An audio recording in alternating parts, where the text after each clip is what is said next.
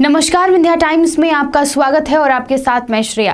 प्रधानमंत्री नरेंद्र मोदी ने सोमवार को वीडियो कॉन्फ्रेंस के ज़रिए आयुष्मान भारत डिजिटल स्वास्थ्य मिशन की शुरुआत कर दी। इसके साथ ही देश स्वास्थ्य व्यवस्था को नई दिशा मिलेगी। देश की बैंकिंग प्रणाली से लेकर आधार और अन्य सेवाओं के डिजिटल लोन डिजिटल होने के बाद देश के लोगों को कई तरह की सुविधाएँ बड़ी आसानी से मिल रही हैं। इसी तरह से देश की स्वास्थ्य व्यवस्था भी डिजिटल होगी। इससे आम लोगों के साथ साथ डॉक्टरों और अस्पतालों को भी काफ़ी सुविधा होगी। राष्ट्रीय डिजिटल स्वास्थ्य मिशन की शुरुआत करते हुए प्रधानमंत्री मोदी अपना संबोधन भी देंगे।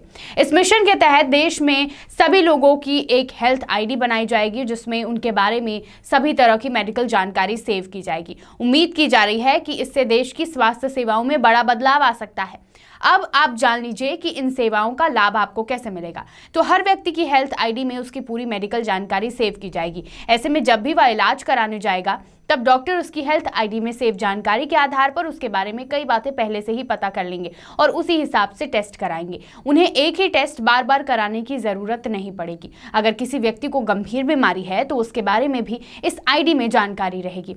इससे डॉक्टर इलाज के समय उस बीमारी और उससे होने वाले साइड इफ़ेक्ट के बारे में भी पता कर सकेंगे। कुल मिलाकर इसमें आपकी हेल्थ का पूरा चिट्ठा रहेगा, जिसको देखकर डॉक्टर आपके स्वास्थ्य के बारे में काफ़ी कुछ पता कर सकेंगे। पिछले साल पंद्रह अगस्त को लाल किले के प्राचीर से प्रधानमंत्री नरेंद्र मोदी ने राष्ट्रीय डिजिटल स्वास्थ्य अभियान की पायलट परियोजना का ऐलान किया था। प्रारंभिक चरण में इस योजना को छह केंद्र शासित प्रदेशों में लागू किया जा रहा है।